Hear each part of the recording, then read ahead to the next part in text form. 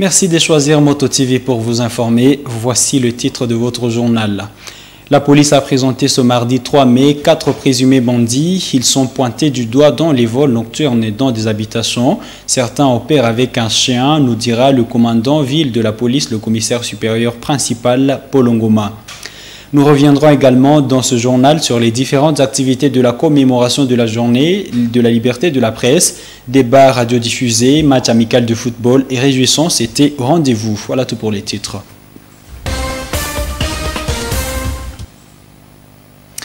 Nous, nous, allons commencer ce journal par la page religieuse. Ce mois est dédié à la Sainte Vierge Marie.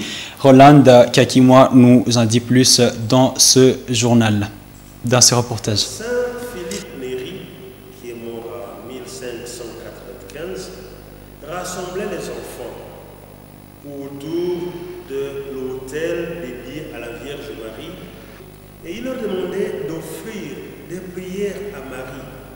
En ce cinquième mois dédié à la Vierge Marie, l'Église catholique recommande à ses fidèles de réciter le chapelet. Plusieurs chrétiens s'adonnent en cette pratique à la maison, même devant les grottes mariales. C'est le cas de l'école primaire Kitoulou, cette école conventionnée catholique qui encadre des milliers d'écoliers, dont les filles et garçons, à la recherche du savoir. Ici, les enseignants et leurs écoliers se mobilisent chaque jour devant cette grotte mariale pour réciter le chapelet, une pratique qu'ils observent au long du mois marial. Jésus, le fils de vos entrailles, est béni.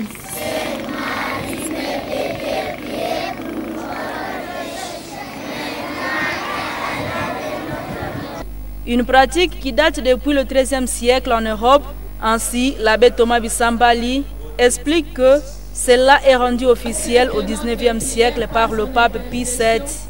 Le mois de mai, est associé avec la dévotion la Vierge Marie. On vient au XVIIe siècle et XVIIIe siècle. Les prêtres jésuites du XVIIe et XVIIIe siècle ont diffusé cette pratique, commencée par Philippe Néry, prêtre jésuite aussi, en Italie. Euh, il recommandait à chaque maison, à chaque famille, de se rassembler autour de moi, autour de l'autel, autour d'un hôtel dédié à Marie, dans une chapelle, dans une famille, de se rassembler pour prier autour de la Vierge Marie. Et finalement, cette pratique fut euh, prise, acceptée par le pape Pie VII. Ce dogmaticien appelle les jeunes à intérioriser le message du pape François où il leur demande de vivre la Vierge Marie. Bien le Saint-Père, le pape François, nous invite à prier pour que les jeunes puissent découvrir en Marie un modèle d'écoute, de discernement et de courage, et qu'ils puissent se dévouer comme elle à la foi. Ce mois marial débute par la fête de Saint Joseph le Travailleur et se clôture par celle de la visitation de la Vierge Marie. Parlons sécurité, comme nous l'avons dit dans les titres. Quatre présumés bandits ont été présentés à la presse ce mardi 3 mai à l'état-major de la PNC Boutembo. C'était en présence du maire de la ville à l'intérim, le commissaire supérieur principal Moabaï Kiteli. Ils sont accusés d'avoir opéré la nuit du 29 au 30 avril à Selil Moulemia et Kisingiri, dans la commune de Boulenguera. Le commandant ville de la police qui les a présentés a indiqué que ces bandits opèrent avec un chien. Suivez ce reportage. Ces quatre présumés bandits appartiennent à deux groupes différents, a indiqué le commandant de la police, le commissaire supérieur principal Paul Ngoma. Un parmi eux faisait partie des groupes dont le reste des membres sont à fuite, tandis que les trois autres opéraient notamment avec un chien. Dieu et dans ces jours-là, ils ont opéré leur chien que voici. Le chien d'abord au nom de Simba. À cette occasion, le maire de la ville a appelé la population à la collaboration avec les services de sécurité. Des alertes pour que les services arrivent à neutraliser ces hors-la-loi. Puisque seuls, ils ne peuvent rien, mais avec le concours de la population, je pense que toutes les missions ou toutes les enquêtes pourront réussir. Il y a encore d'autres enquêtes qui sont en cours. C'est pourquoi j'encourage la population à pouvoir collaborer avec les services pour décourager ceux qui ne cessent de perturber la quiétude de la population. Présenté comme l'une des victimes, cet homme a reconnu l'un des présumés Banti. Il en a profité pour remercier les services de sécurité pour le travail abattu. Exactement, je viens de reconnaître un parce que euh, quand il cassait la porte, il y a justement la vitre qui a cassé le doigt. Et il s'est mis justement à casser le rideau et puis s'essuyer avec ses rideaux. Et le rideau a été retrouvé le matin au balcon. C'est pour cela que je me dis que vraiment, euh, doit être justement un de l'heure parce que euh, c'était parmi d'ailleurs les éléments qui nous ont permis qui nous ont permis à débloquer. Non, non. En tout cas, il y a un qui est déjà blessé. En fait, nous disons grand merci à notre police. Et nous demandons encore à cette police de diligenter davantage parce qu'elle est victime de cette barbarie. Après leur présentation, ces présumés bantis ont été transférés à l'auditorat militaire de Boutempo où ils devront répondre de faits mis à leur charge. 3 mai, c'est la journée mondiale, la journée internationale de la liberté de la presse. En ville de Butembo, cette journée a été célébrée sous le thème international, le journalisme sous l'emprise du numérique et le thème national, le journalisme n'est pas un crime. Pour décortiquer ces deux thèmes, les professionnels de médias ont organisé une émission d'environ une heure et demie diffusée en synchronisation sur les radios de Butembo. Croyante Viamba et Luciana Moussiviroa ont assisté à cette émission. Suivez leur reportage. Il est 8 heures ici dans les studios de la RTVH. C'est l'heure de l'émission sur la liberté de la presse en ville de Boutembo. Je suis journaliste dont une femme représente les médias dans cette émission. Et journaliste et modère de l'émission. Et les cinq autres débattent tour à tour selon que la parole leur est accordée. En ce qui concerne la thématique du journalisme sous l'emprise du numérique, les chevaliers de la plume ont reconnu qu'ils vivent une ère nouvelle qui ouvre la presse à plusieurs opportunités, mais aussi qui inclut d'innombrables défis à relever. Pour Rachid Amourika Songo, président de l'UNPC, les journalistes ont un rôle majeur à jouer dans cette vague des outils numériques. Et au niveau national, c'est le journalisme qui n'est pas un crime. Alors, euh, les professionnels des médias qui ont participé à cette émission ont essayé un peu d'analyser quels sont les avantages et les désavantages du journalisme numérique. Qu'est-ce que l'introduction de nouvelles technologies? Certains les appellent nouvelles, mais moi je les appelle des technologies. Quels sont les avantages ou les opportunités qui nous, les opportunités qui nous sont offertes par les technologies de l'information et de la communication, mais aussi comment un journaliste euh, comment le journalisme n'est-il pas un crime et comment il s'exerce dans la société? Ce sont pas des questions qui ont été euh, développées au cours euh, de cette émission. Les professionnels des médias ont donné leur lecture sur le travail des professionnels des médias. Dans les thèmes en rapport avec le journalisme à RDC, les journalistes ont martelé que leur travail n'a pas pour vocation de perturber l'ordre public ou de léser les personnes. Mais leur mission consiste à bien informer l'opinion sur la vérité. D'où le thème Le journalisme n'est pas un crime. Dans ce contexte particulier de l'état de siège décrété dans les provinces du Nord Kivu et de l'Ituri, la presse de Boutembo a constaté qu'il est devenu difficile d'accéder aux sources d'informations officielles, une contrainte qui limite de plus en plus leurs efforts à confronter les sources d'informations avant la diffusion de celle-ci. lorsque vous lisez l'ordonnance qui institue l'état de siège, il est dit clairement qu'il y a des libertés fondamentales qui ne sont pas concernées par des mesures restrictives. C'est notamment euh, la liberté de la presse et la liberté d'expression.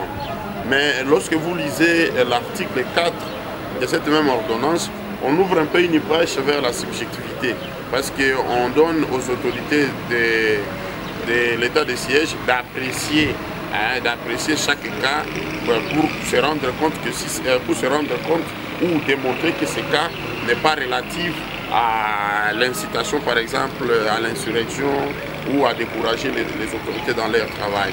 Mais globalement, nous avons démontré que l'état de siège, d'une manière ou d'une autre, euh, ne nous a pas trop aidé dans l'exercice de notre métier. Par exemple, lorsqu'on nous soumet à un couvre-feu, alors que nous savons que nous avons des radios qui ont des journaux au-delà des 19 heures, par exemple.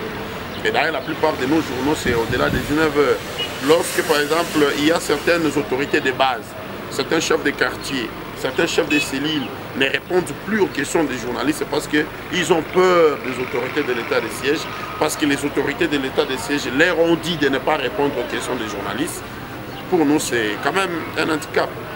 Lorsque les journalistes dénoncent ce qui est fait par euh, les autorités de l'État de siège, ça devient une source de menace. Lorsque nous dénonçons les tracasseries, par exemple, dont les opérateurs économiques sont victimes, par exemple, ça, ça ne peut pas faire plaisir aux autorités. Cette année 2022, la Journée mondiale de la liberté de la presse a été célébrée sous le thème international du journalisme sous l'emprise du numérique. Et au niveau national, le thème retenu est Le journalisme n'est pas un crime, le travail qu'abattent les journalistes est apprécié par les habitants des Boutembo, rencontrés par Moto TV à l'occasion de la Journée internationale de la liberté de la presse. Certains ont avoué que sans les informations, ils ne sauraient la situation sécuritaire dans la région. Les autres estiment que grâce à la presse, ils sont à mesure de comprendre certains faits en vue de mener les actions dans différents domaines. Ils demandent cependant aux journalistes de penser à démasquer ceux qui intoxiquent la population.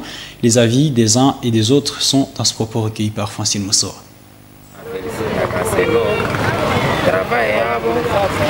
Nous félicitons les journalistes pour leur travail abattu. Les informations, les communiqués, les émissions thématiques, les théâtres à travers lesquels nous trouvons de l'éducation. C'est une très bonne chose. Bon, wanatuchezea na mateate za mzuri zinatuedike bien quand même venye hatukuwa najua tunaprofite kuvipata pale juu ya kufata mateatre. Nous savons que en tout cas c'est grâce à ces journalistes, à ces métiers que ces gens-là font et que notre groupe de pression arrive même à réaliser certains exploits à Ville de Boutembo, même à se faire connaître, que ce soit à Ville de Boutembo, même eh, aux environs de la ville de Boutembo, ainsi que partout, c'est grâce à ces journalistes que notre mouvement eh, est en train d'être connu. Partons de la situation actuelle de notre pays, mieux la province, ce sont eux qui nous mettent au courant de tout ce qui se passe. Nous imaginons ce que nous serions sont les journalistes. C'est grâce aux informations livrées par les journalistes. Je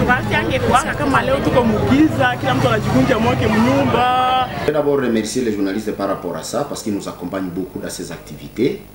Et de la même manière que les formations passent dans la communauté, ils nous aident aussi à transmettre certains messages qui concernent aussi nos activités de la Croix-Rouge et aussi à faveur de cette communauté vulnérable que nous avons toujours soutenue et appuyée. En Ituri, l'UNPC dresse un tableau sombre de la liberté de la presse à l'occasion d'une matinée de réflexion organisée ce mardi 3 mai en marge de cette journée à Bounia par la section provinciale de l'UNPC. Cette structure a plaidé pour une meilleure protection des journalistes qui sont de plus en plus exposés. Suivez la présidente de l'UNPC Bounia dans ce propos, nous envoyé par nos confrères de Bounia Actualité. L'état de lieu à euh, par rapport à la liberté de presse, nous avons vraiment un tableau sombre. Parce que depuis 2017, avec euh, l'avènement de, de, conflits armés euh, et aussi la présence des rebelles étrangers au niveau de la province, la presse souffre. Il n'y a pas tellement la liberté de presse. Tantôt il y a des intimidations, tantôt il y a des messages, des menaces de mort. Et cela fait à ce que euh, la liberté de la presse est vraiment restreinte au niveau de l'Itourie. Et aussi il y a ce problème même d'accès à, l'information parce qu'il y a des zones où les journalistes ne peuvent pas accéder. Euh, il y a même certains journalistes, suite au travail qu'ils sont en train de faire, il y en a qui ont même pas perdu leur vie.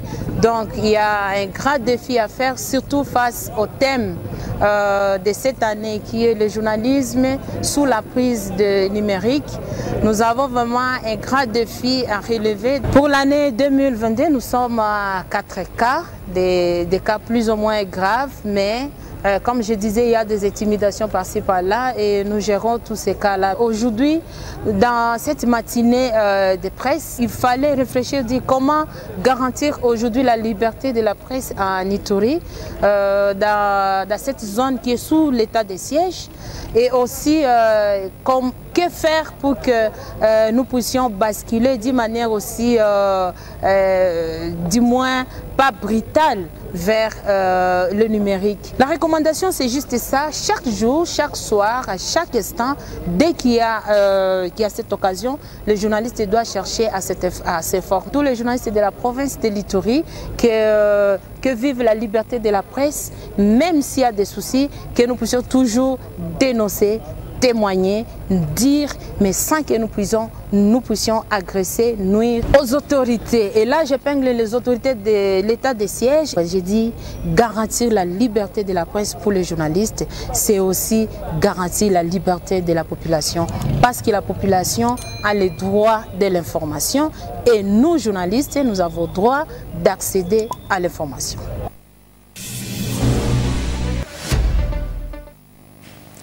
L'équipe de football des journalistes de Boutembo a perdu face à celle de la maison Palos par un score de 3 buts à 1. C'était lors d'un match amical livré au stade André Van Nevel de Boutembo en marge de la célébration de la journée internationale de la liberté de la presse. Suivez ces reportages de Delphin Voya pour d'amples détails. Le bleu-blanc vêtu l'équipe des journalistes été la première à fouler ses pieds ici au stade Van Nevel. Près d'une heure d'attente, alors que les journalistes commençaient à s'impatienter, va finalement se présenter la formation La Maison Palos, ce qui est synonyme du coup d'avoir de la rencontre. Trois minutes plus tard, La Maison Palos va inscrire son premier but avant de se faire rejoindre au score sur un tir au but. Avant la pousse de cette dernière va réussir à courser l'addition. À la reprise, le match se stabilise et finalement les journalistes vont encaisser le troisième but dans les ultimes minutes des jeux. Martial Bendelo, le capitaine de l'équipe de la presse, dit que c'est par manque d'entraînement que son équipe a perdu cette rencontre.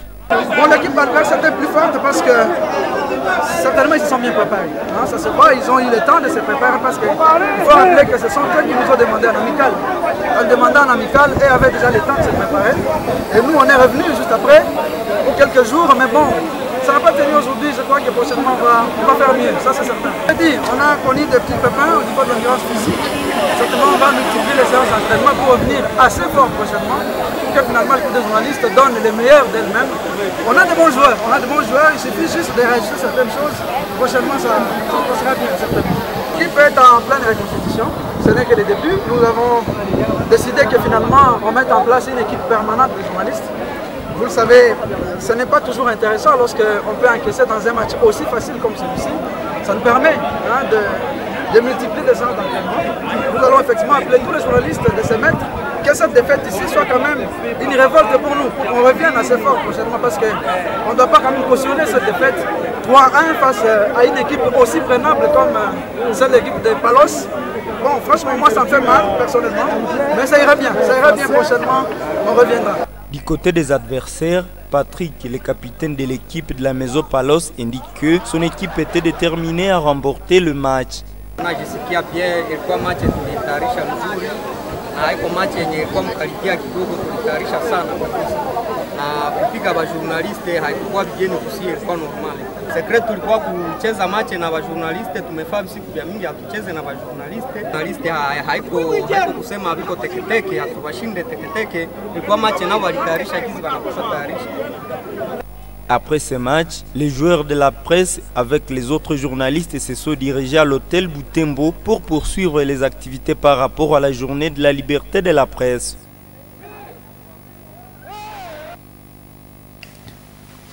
Mesdames, Messieurs, c'est la fin de cette édition du journal. Merci à vous d'avoir regardé Moto TV. Restez branchés car le programme se poursuit. Au revoir.